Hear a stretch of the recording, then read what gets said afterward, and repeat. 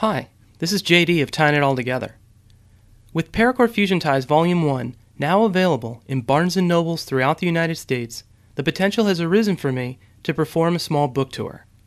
This would be a series of weekend travels on account I still have a day job. Still, before I travel anywhere, I first need to know what cities and areas have the most interest.